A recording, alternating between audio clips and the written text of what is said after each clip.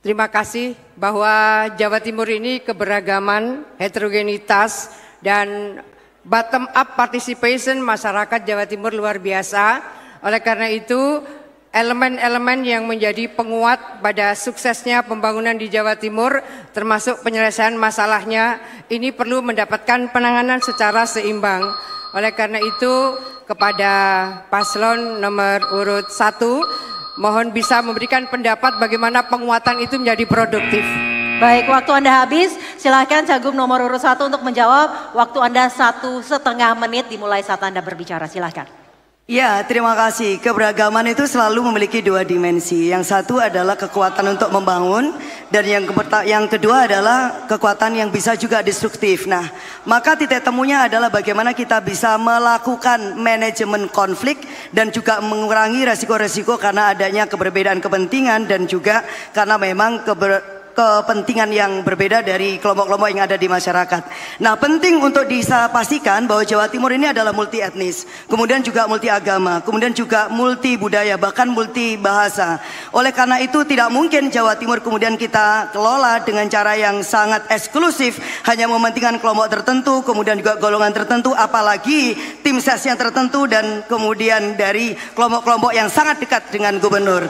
Oleh karena itu kita akan pastikan bahwa ruang-ruang partisipasi partisipasi publik itu harus kita galakkan dan kita kuatkan dan memastikan bahwa APBD Jawa Timur harus menguatkan sektor-sektor pemberdayaan masyarakat termasuk kelompok perempuan, kelompok etnis yang berbeda, kelompok-kelompok adat dan bahkan kelompok-kelompok pemuda dan kelompok-kelompok lain yang selama ini termarginalkan. Oleh karena itu, Jawa Timur hanya kuat kalau kita menghargai keberbedaan, namun manajemen keberbedaan itu harus kita utamakan karena itulah yang akan membuat Jawa Timur maju dan juga sejahtera.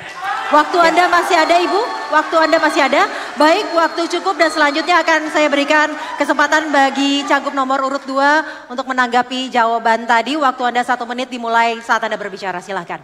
Ya, uh, penggunaan APBD semaksimal mungkin untuk peningkatan kesejahteraan masyarakat itu menjadi poin penting dalam setiap membahas APBD Pemprov Jawa Timur. Oleh karena itu setiap musrenbang semua elemen akan kita libatkan untuk bisa memberikan masukan-masukan strategis sesuai dengan kebutuhan-kebutuhan dasar mereka. Oleh karena itu kita berharap bahwa apa yang sudah dimulai dari Musrenbang Des, kecamatan, kabupaten kota sampai kepada Musrenbang provinsi ini adalah area untuk mempertemukan partisipasi masyarakat secara substantif supaya terakomodir di dalam APBD Provinsi Jawa Timur. Nah, bagaimana kemudian partisipasi publik semua dilibatkan? Semua elemen dilibatkan, perguruan tinggi dilibatkan, nelayan, petani, disabilitas, perempuan, semua dilibatkan. Harapannya adalah inilah forum waktu anda habis, kita membangun keadilan. Waktu Anda telah habis, selanjutnya saya berikan waktu kepada Cagup nomor urut 3 untuk merespon tadi jawaban dari Cagup 2 dan juga Cagup 1. Waktu Anda satu menit dimulai saat Anda berbicara. Yang pertama adalah saat kita melibatkan partisipasi masyarakat, itu harus dimulai sejak perencanaan. Bukan hanya usulan program, tapi juga sampai kepada bagaimana keinginan mereka yang sebenarnya. Sehingga kita tahu apa passion mereka, apa yang mereka benar-benar inginkan, itu bisa terjawab dan bisa diterjemahkan di dalam program-program pemerintah provinsi. Karena itu eh, kita tidak perlu membuat sesuatu yang formal, kita bisa langsung datang ke masyarakat dan kemudian kita menanyakan apa kebutuhan yang ada di masyarakat dan kemudian kita selesaikan bersama-sama dengan masyarakat dan melakukan pengawasan bersama-sama di dalam setiap pelaksanaan maupun pengendalian tersebut. Baik, waktu Anda masih ada? Baik, waktu cukup dan selanjutnya. Baik Bapak Ibu hadirin dan pemirsa, kita selanjutnya persilakan untuk Cagup nomor urut 3 untuk bisa memberikan pertanyaan kepada Cagup nomor urut 2. Terlebih dahulu Anda memilih ikon pariwisata yang ada di layar. Silakan Anda memilih untuk subtema yang nanti akan Anda lemparkan. Taman Nasional Baluran. Baik, silakan. Kita akan lihat bersama apakah dan apa yang didapatkan untuk subtema budaya dan birokrasi modern. Silakan.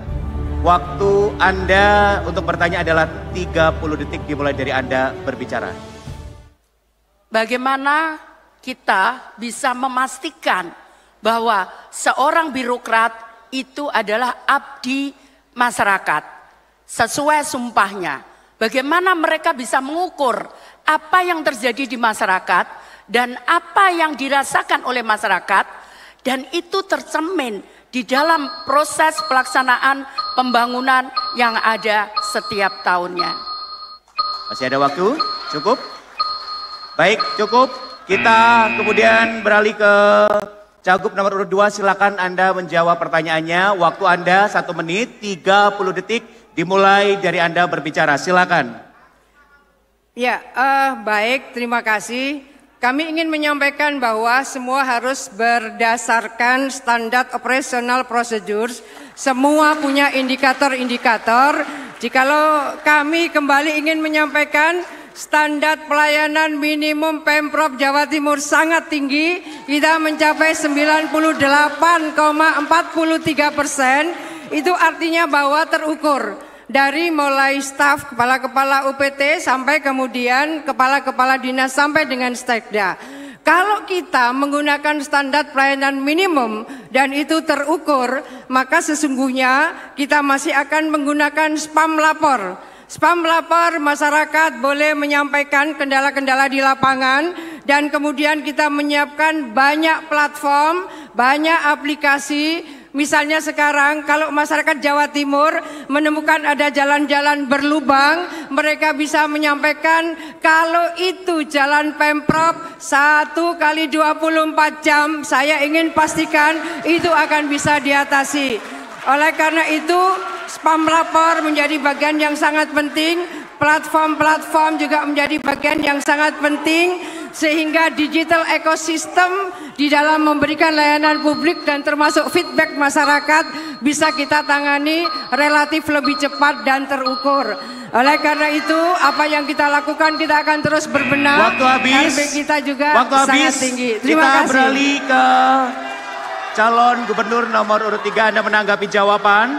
Waktu Anda satu menit dimulai dari Anda berbicara. Silakan. Terima kasih. Jadi saya banyak berkeliling di Jawa Timur.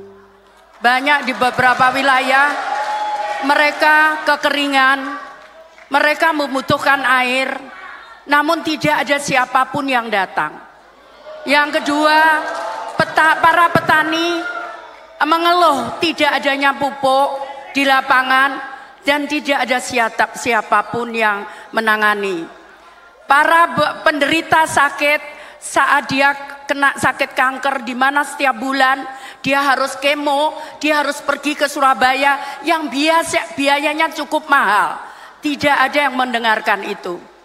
Pertanyaannya di manakah birokrasinya? Kemudian yang kedua adalah bagaimana saat kita merasakan penderitaan rakyat itu di dalam penderitaan kita seluruhnya mulai birokrasi sampai pimpinan yang tertinggi. Terima kasih. Masih ada waktu? Cukup? Kita ke Cagup nomor urut satu silakan Anda merespon jawaban dari Cagup nomor urut tiga dan dua. Waktu Anda satu menit dimulai dari Anda berbicara. Silakan. Ya, terima kasih. Bagi saya itu pemerintahan, birokrasi dan kepemimpinan itu akan dilihat dari sebuah ketulusan. Jadi kalau pemimpin dan birokrasi itu tulus, maka dia pasti akan memberikan respon yang sangat cepat, tepat, dan kemudian sat-sat. Nah itu penting.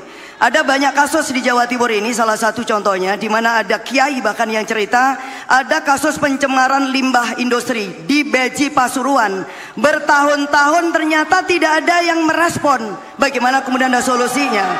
Maka kalau menurut saya penting kemudian kita bisa mengadres isu-isu yang seperti ini dengan menghadirkan inovasi bukan hanya dengan teknologi tetapi juga dengan ketenagakerjaan, dengan kesiapsiagaan dan juga birokrasi yang 24 jam bekerja dan tujuh hari juga bekerja dengan hati dan penuh dengan cinta kepada rakyatnya. Saya kira itu yang sedang krisis di Jawa Timur ini.